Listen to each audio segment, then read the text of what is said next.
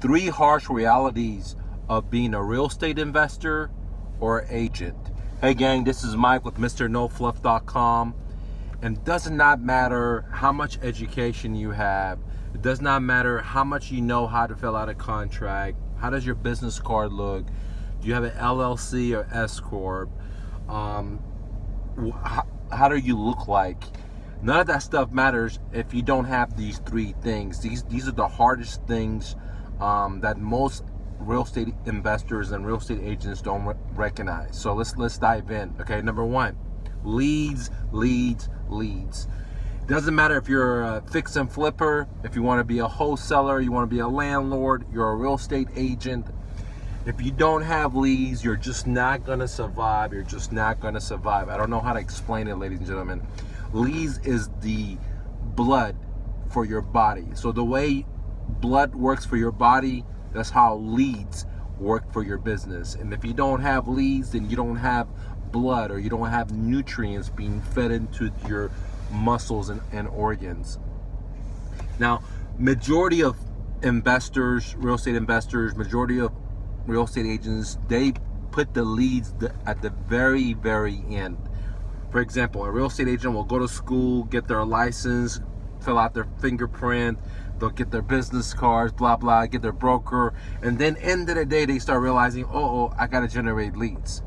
Same thing with a real estate investor. They'll go to seminars, they'll go to boot camps, set up a website, set, get their shirts, get their domains, sell their LLCs, S corp, whatever it is. After spending thousands of dollars in education and setting up um, business frame, then they realize that oh, no one's knocking on their door. So that's one of the very harshest realities for real estate investors and agents. Once they graduate to the point of doing business there's no business to be done right? Now the second harshest reality as a real estate investor as a real estate agent or anyone that's a dream chaser or entrepreneur is pay attention to this. It's very very important. Everyone's going to tell you no no, no. And no has to become your best friend. Not because, in a sense, that you're okay with no. No, not that kind of best friend.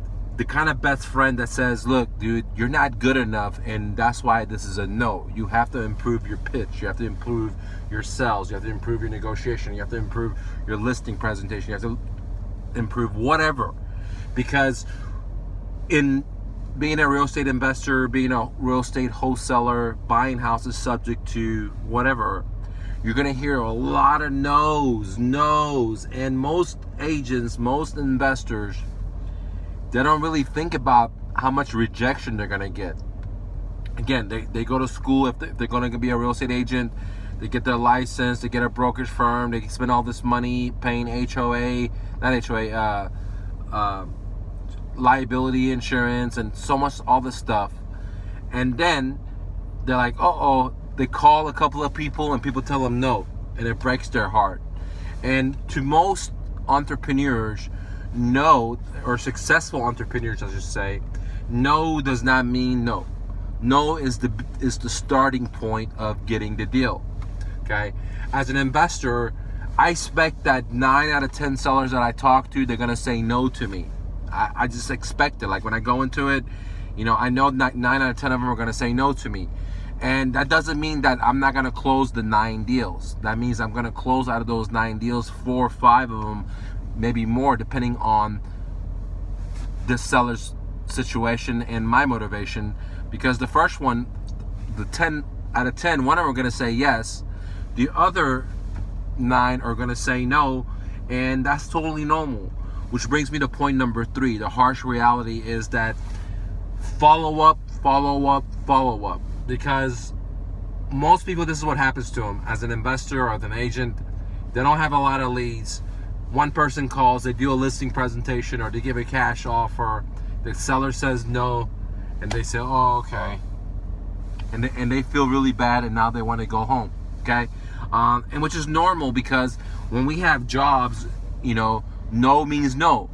But if you want to be a dream, No does not mean no. No means that you have to regroup, you have to flank, you have to figure another way to get to your goal. No does not mean like no.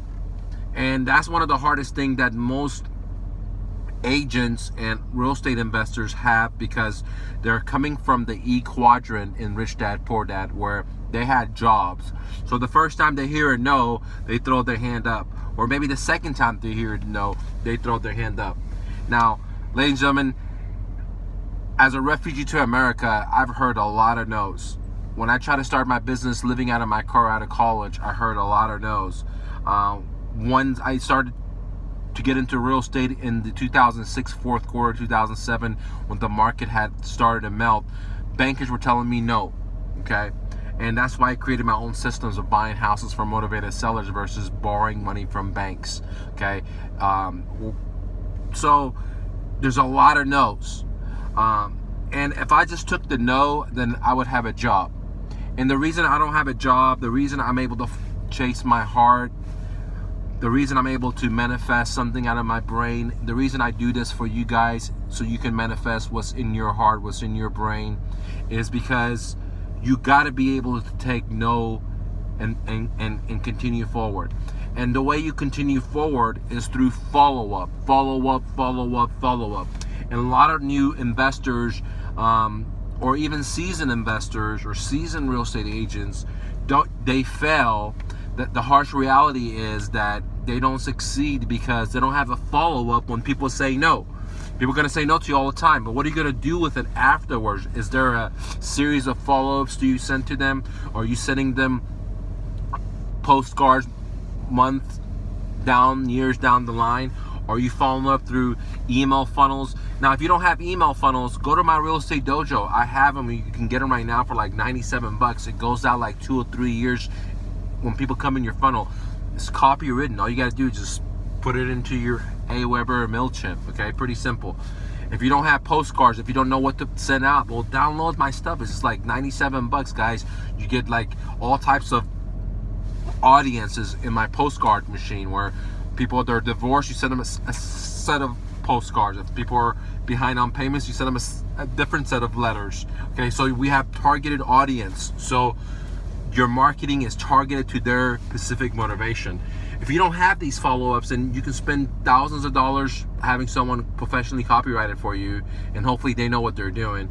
Or you can spend hours and hours developing yourself, or you could not have it and not do deals, or you can spend like 97 bucks or 100 bucks and download two years of follow-up in emails, two years of you know postcards for different targeted audience behind divorces, death in the family, etc. Okay, at my real estate dojo, guys, I'm having the biggest sell of the century.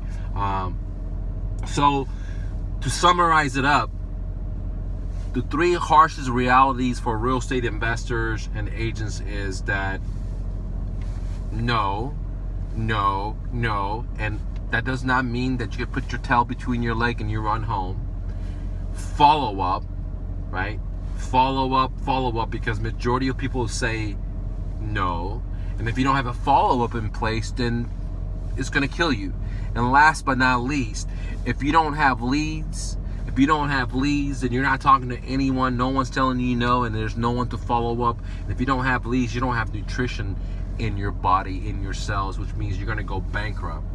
And these are the most important things that I just said. Some of them are physical, some of them are mental, right?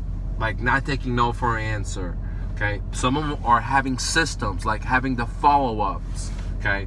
And some of them are action-wise, where if you don't take action to generate leads, like some people say, well, Mike, how do I generate leads? Well, I have 39 ways for you to generate leads of motivated sellers. Doesn't matter if you're a real estate agent or if you're an investor for almost for free or, or almost for free.